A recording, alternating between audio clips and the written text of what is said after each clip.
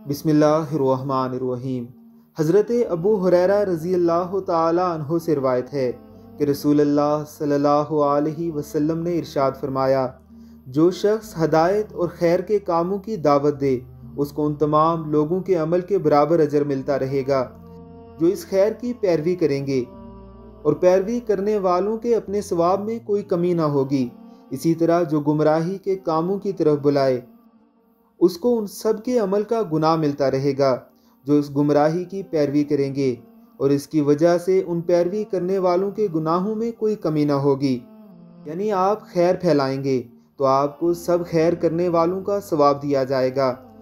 और अगर आप खुदा न ख्वास्ता, शर फैलाने वालों में से हैं तो आपको उस शर की पैरवी करने वाले तमाम लोगों के बराबर गुनाह मिलता रहेगा। अल्लाह रब्बुल इज़्ज़त की ज़ात हमें शर से बचने और खैर को फैलाने की तोफ़ी कता फ़रमाए। आमीन सुमामीन